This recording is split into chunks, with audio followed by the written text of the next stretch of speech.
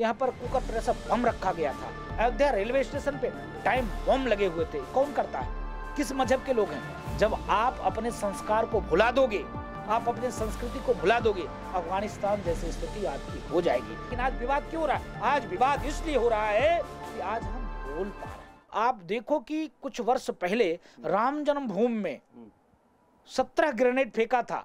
पाँच के पाँच आतंकवादियों की इनकाउंटर हुआ था। जिस जगह पर बैठे हो, या सीढ़ी से नीचे उतरते तो यहाँ पर कुकर प्रेशर बम रखा गया था। अयोध्या रेलवे स्टेशन पे टाइम बम लगे हुए थे। कौन करता है?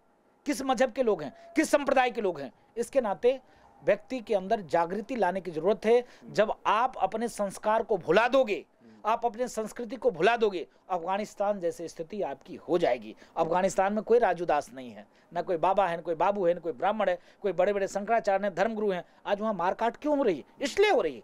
उन्होंने अपनी संस्कृति को भुला दिया अफगान अफ़गानिस्तान के लोगों ने।